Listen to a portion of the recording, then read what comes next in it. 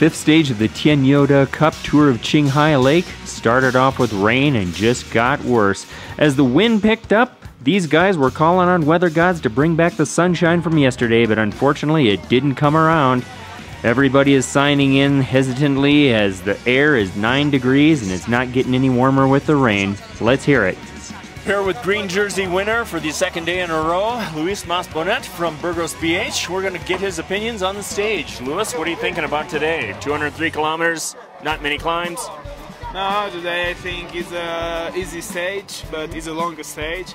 I think today only the most difficult is the weather. Uh, today is a little bit raining and a little bit cold, and it's possible when in the finish the race the people. Um, go back to the race or finish your yourself.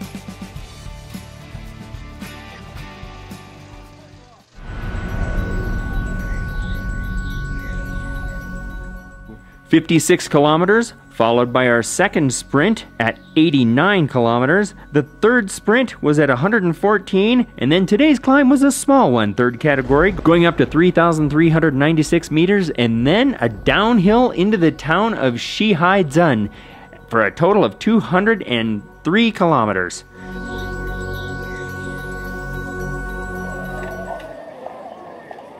You know, it's really cold when people are wearing shower caps on their helmets and shaking at the start. I was one of them.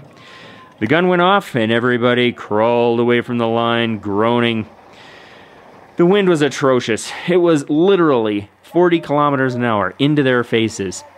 What you can't see here was four people that were playing the Chinese lottery ticket, which was the name of the stage. They headed off. What we had was four breakaway riders got away within the first kilometer, and sprint number one was taken by Alexander Polivoda. Tilijan Madios was second and Floris Goesinnen was third.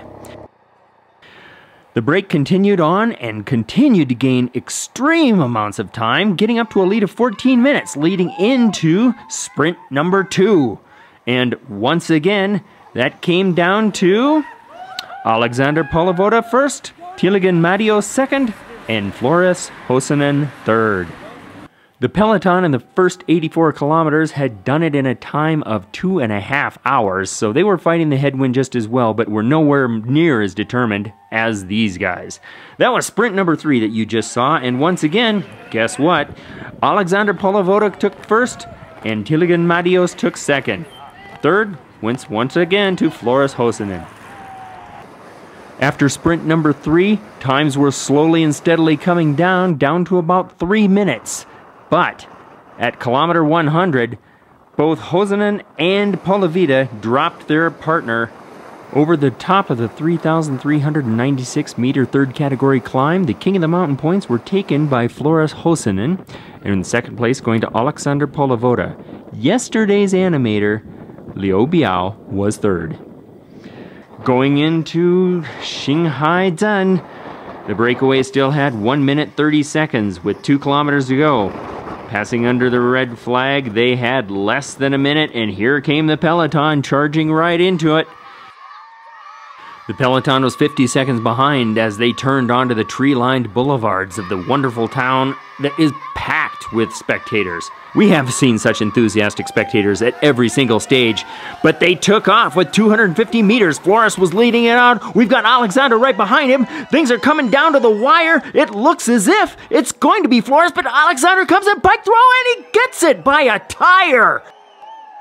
After 201 kilometers alone, they ended up getting the win by a tire. So first place was Alexander Polivoda, second Floris Goesinnen, third was once again Sacha Modolo.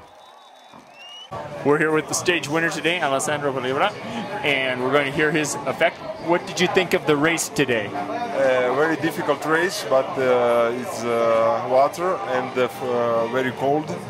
I'm uh, very hard uh, day with me and very happy day.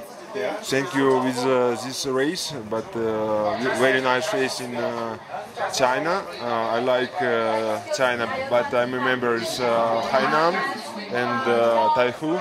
This is a very nice race in China. Thank you. Our podium girls are ready to present the champagne and flowers to our stage winner, Alessandra Polivoda. Excellent race. Second place was Florian Goesinnen, and third, Sacha Modolo. The best Asian rider is once again Samad Pourseyedi. Samad Pourseyedi is also the king of the mountain. He's having a great tour so far. Still three stages of serious mountain climbing to go. And now the new green jersey is Sacha Modolo, who's had also a very consistent sprinting. And now in GC, the yellow jersey is again for the third day now. Samad Pourseyedi is still in yellow. Mir Kolodos is in second, and David De La Fuente still holds on to third place. GC is unchanged. Tune in tomorrow for stage six from Shihaizhen to Qilian. For Cycling CN, I'm Sean Nagel. We look forward to seeing you tomorrow.